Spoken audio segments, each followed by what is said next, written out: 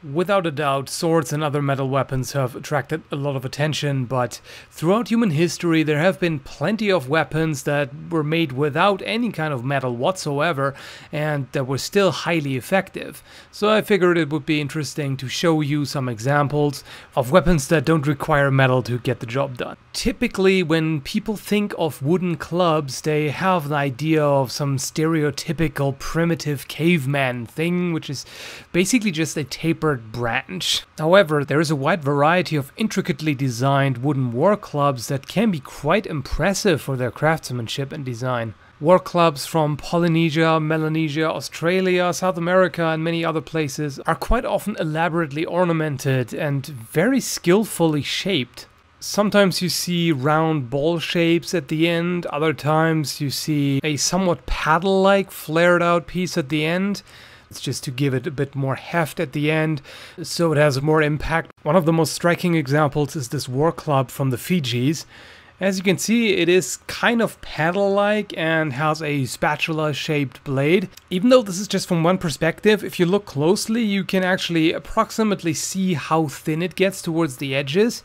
So this is pretty much like a wooden blade. It is actually tapered towards the edges and finely ground and polished. And you can imagine such a narrow surface definitely amplifies the force from a swing. Maybe you think that wood would be an ineffective material for a weapon like this, but you have to keep in mind that in many regions which these indigenous weapons are from, you have a variety of dense and heavy hardwoods, like uh, ironwood, for example, makes for a very good club, cocobolo, ebony, and a variety of other exotic hardwoods that have very suitable properties for a weapon. Here's an example from the indigenous Maori of New Zealand. It may look like a spear at first glance because of the point, but apparently this was a fighting staff. It's usually between 1.5 and 1.8 meters long, and it can be used for stabbing because of the point, but uh, it's also mainly for parrying and striking. The uh, fluffy collar that you see there is made of bird feathers and hair from a type of Polynesian dog and its purpose was supposedly to distract the opponent during a fight, which I'm a bit skeptical about. I cannot really imagine an experienced fighter being distracted by something like that. It's the same idea that you have in some Chinese weapons, which have tassels and such, but uh, I don't really think they would distract that much. You as an experienced fighter, you know what to focus on. But uh, of course, it is also for decoration, so just ornament. And two more Maori weapons. Here is a wooden axe. Again, despite being made of nothing but wood, this is definitely a functional weapon. It has some of the same advantages as the metal axe. It has the 90 degree angle head with which you can hook an opponent's weapon or limbs, and which lends itself to very powerful strikes. This one even has a tapered point at the end, so you could thrust with that. This warrior also holds a small club, which is made of greenstone or dark stone. And this is, again, very interesting. As you can see, it's quite a compact club. It's also thinner than you might think when you look at it from the front.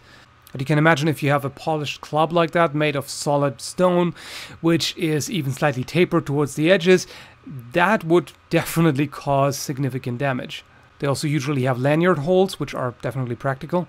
There are also examples where you have a club with a wooden core and a stone attached to it, like in this case. This is one of the largest examples as far as the stone is concerned. It is about 22 centimeters or 9 inches in diameter, so that's quite a hefty thing. And it's held in place with woven bamboo strips. If you were to underestimate these weapons just because they're made of wood, you would be in for a nasty surprise. They can even cut to an extent. If you have a weapon made of very dense hardwood, which is actually smoothly polished into an edge, this can still give you a mean cut. Not as deep as a steel blade, obviously, but uh, it's definitely not to be trifled with. I would absolutely love to do testing with such weapons, but I just don't know where to get high quality replicas from, and I wouldn't really want to use an antique original and risk messing it up. But anyway, if you want a dedicated cutting weapon, there are also options even without metal. I Like this relatively famous Aztec weapon, I'm not going to try to pronounce it just like I avoided trying to pronounce any of the other names. I just have no clue how to do it, so I would just butcher the pronunciation, and we really don't need that, do we? The interesting thing about obsidian blades is that they can actually be sharper than anything else on the planet. The reason for that is the material and how they are made. Obsidian is very hard and in fact brittle. You don't make those blades by grinding them, you actually chip them off. You have to strike the material in the right spot, in the right angle, with the appropriate amount of force. Trust me, I tried flint knapping for a while and I have since given it up because I just don't have the time and dedication to put into it. It is a really complex, difficult craft. You can't just pick up some rocks and bash them together. It's not how it works. It really requires a lot of practice and knowledge and skill. What makes them so sharp is that they basically break into microscopically thin feather edges. So it's finer than anything else you could achieve with metal. The only problem is they are not very durable. Like I mentioned, obsidian is very brittle. You can actually compare it to glass in many ways. It is also often called volcanic glass. So the sharpness deteriorates pretty quickly. But the first strike is basically like a hyper fine razor blade.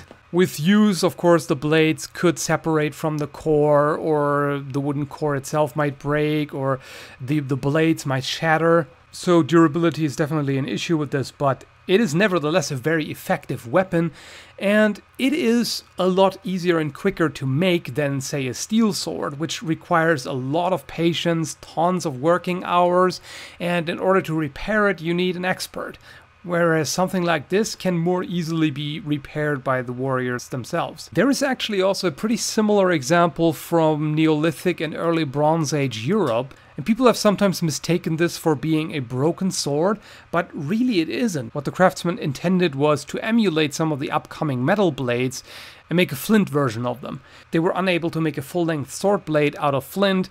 Uh, for one, that would simply have been too brittle, and the other problem is also because of the way you make them. You would need to chip off an extremely long flake, so you, you would need one hell of a large stone core for that. You're simply losing a lot of material in the making because in order to shape it, you have to keep knocking off chips of stone. But what they did instead was they made those blades and attached them to a wooden core.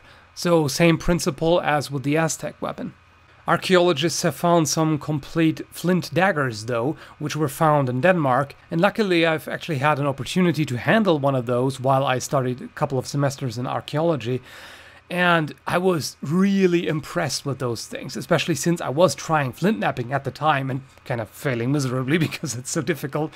But I was really impressed with the sophisticated craftsmanship, very finely made. It's really astonishing to see and especially hold because those are, of course, mostly impervious to the elements, so they are still in pretty much pristine condition.